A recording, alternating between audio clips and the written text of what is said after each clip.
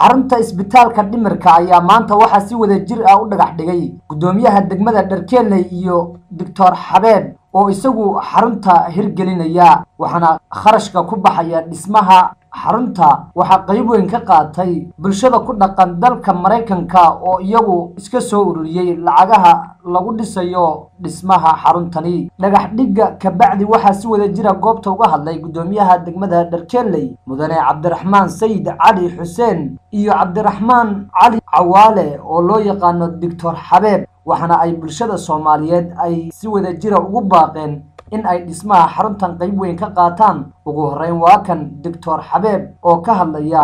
barnaamijka maanta halka la isugu yimid oo guddoomiyaha degmada dharkeeley uu maanta dhagax dhigayo waa contribution waa qaaraan ay iska soo aruuriyeen dhallinyarada gabdhaha u badan ee ku nool carriga maraykanka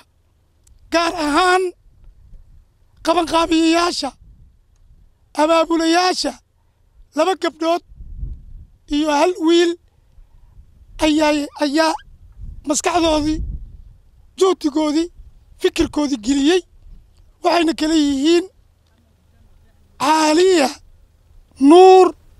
sheikh maxamed yuusuf iyo walaasheen ama gabdhaheenna gabadheenna warsan yuusuf iyo walaalkeen cabdiraxmaan saddexdaa maskaxdoodii isku tagtay. Guddoomiyaha degmada dharkeeley oo goobta ka hadlay ayaa sheegay in ka maamul ahaan ay qayb weyn ka qaadanayaan dhismaha xaruntani dhalinyaradii isku abaabushay fikirkeedana la imaatay ee ah in dhimirka bulshaweynta soomaaliyeed qayb ay ka naqdaan una sameeyaan xarun ku habboon meeshii loogu sameyn lahaa qof dhimirka dhibaato ay ka gaartay oo ah meel ku wanaagsan jawigeeda meel ku habboon qofka dhimirka in la geeyo waxaana ku faraxsannahay ka degma ahaan inay naqato xaruntii ugu horreysay ee dhimirka ee soomaaliya laga furo naqato xarunteedii ugu weyneed.